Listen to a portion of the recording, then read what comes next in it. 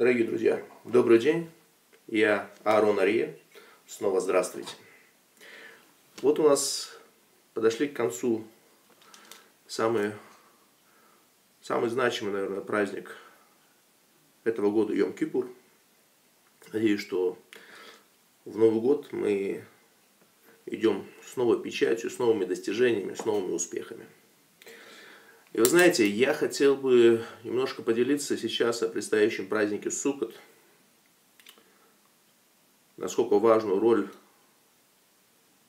он сыграл в жизни еврейского народа, насколько папа нас защищал под небесами, давая нам многое, и что нам надо всегда ценить. Вы знаете, так повелось то, что в преддверии Сукота, после Йом-Кипура,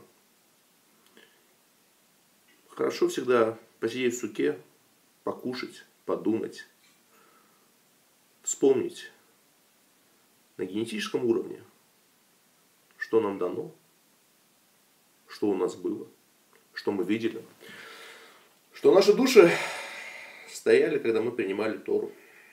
Это важно. А вот перед Йом Кипуром у меня было событие. Я возвращался, возвращался после Шудуха.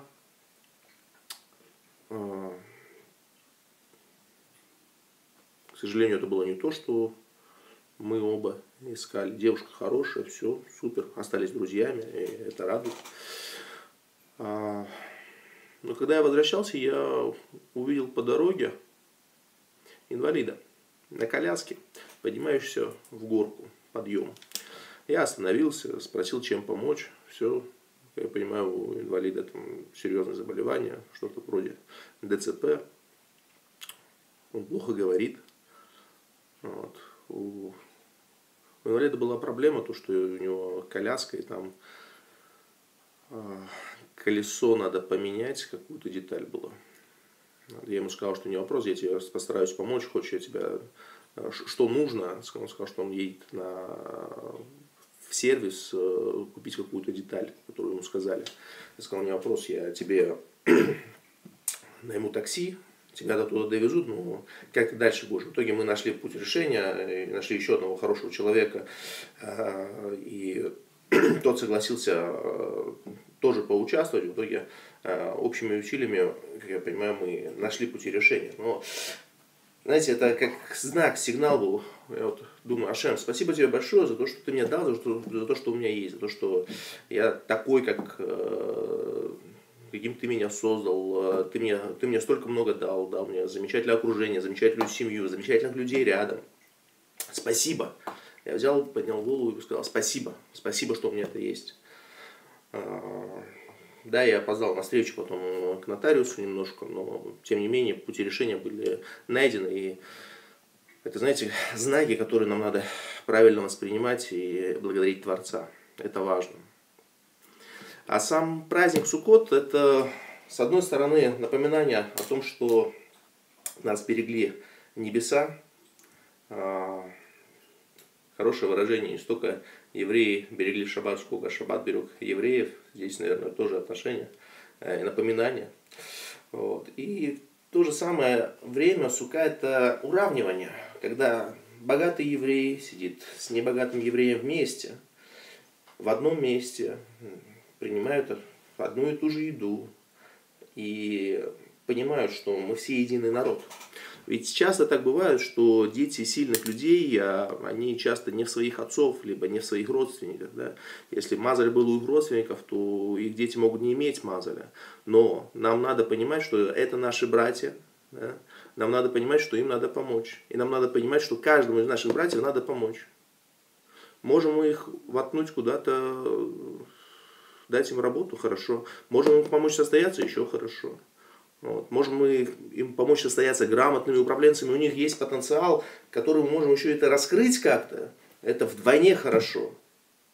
И хорошо, чтобы каждый из нас это помнил, и те, кому помогают, тоже помнили. Чувство благодарности никто никогда не отменял. Это очень важное чувство. Ягуди. –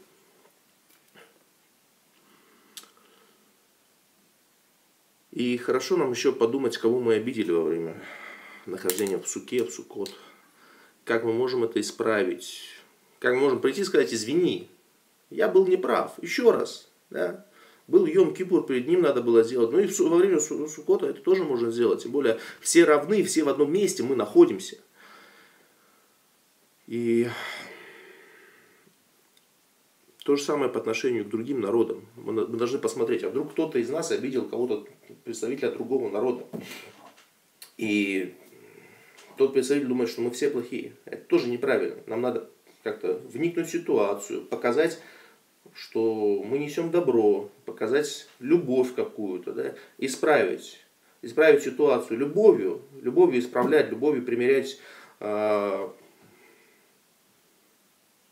другое общество, показать, что мы можем дружить, можем э, быть партнерами, мы можем э, развиваться вместе и идти дальше. Пожалуйста, Израиль и Объединенные Арабские Эмираты – какой огромный прорыв э, был сделан э, в дипломатии. Это надо дать э, должное, это, это великое, великое сравнение.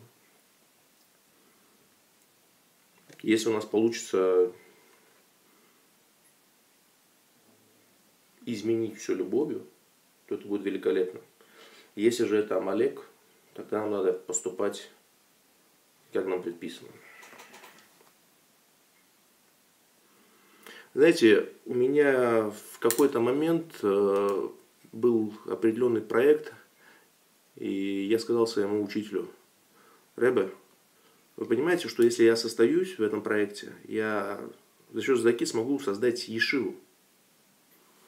И он сказал мне одну важную вещь. Мальчик мой, запомни, ешива и без тебя может построиться, а я хочу, чтобы ты был счастлив. И вы знаете, это это как отец с сыном. Это слова отца, которые он может дать сыну. Я понял, что это мой отец. Не генетически духовный отец. Мы с ним связаны, переплетены в один большой узел. И это так важно иметь близкое окружение, э, такое близкое окружение, которое всегда за тебя горою стоит, это надо ценить. И надо сказать тоже, спасибо, что такое есть, спасибо, что есть семья, что есть друзья. Спасибо за все. Шем, тот раба. Знаете, у меня во время сукота такая небольшая, можно сказать, стих родился. Я желаю вам арава такого, кто в надежный и нужный вам час произнес настоящее слово, что спасительным будет для вас. Я хочу, чтобы в доме звучали детский гул и гром голосов. На кидуш наполнялся бокал, чтобы счастья друг другу желали. То, что я вам сейчас пожелал. И вы знаете, сейчас на данной платформе Ваикра, друзья мои, у вас есть такие учителя, от себя добавлю. Они многие, многие замечательные, все супер. Я думаю, все замечательные. Но вот от себя я хотел бы добавить, на кого просто стоит обращать вам внимание и концентрироваться на их уроках. Это Раф Мейер Левин. Это Эраст Иосифович Матаев, великолепный человек это господин Рабинович, это кладезь мудрости. Я слушаю и, и восхищаюсь. Спасибо вам, спасибо вам, рэп. Это Алекс Артовский, замечательный человек, замечательный Раф. Тоже советую вам прям слушать и смотреть и наполняться их мудростью. И вы знаете, преддверии я хотел бы сказать завершение –